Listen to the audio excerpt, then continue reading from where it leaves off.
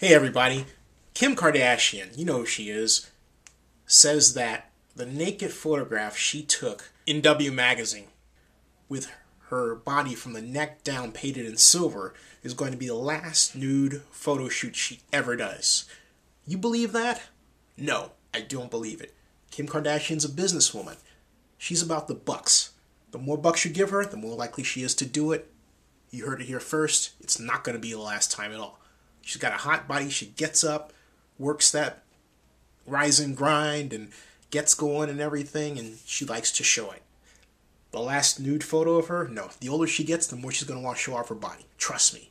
And speaking of showing off bodies, we have Genevieve Morton, the Sports Illustrated swimsuit model, who was the darling of the internet this morning.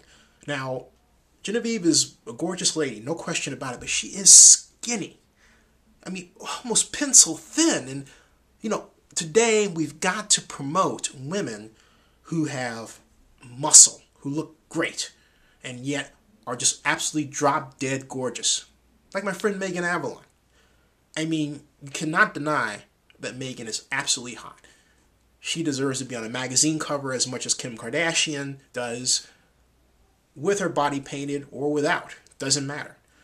But again, I'm not taking away anything anything away from Genevieve. She's a great looking lady, no question about it.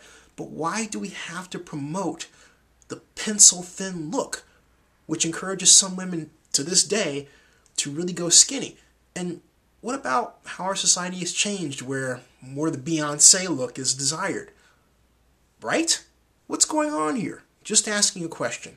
Hey, Genevieve, you look great, go to the gym, put on 20 pounds of muscle like Megan Avalon, get some curves like Beyonce and Kim Kardashian, and you're smoking woo hot. Just saying.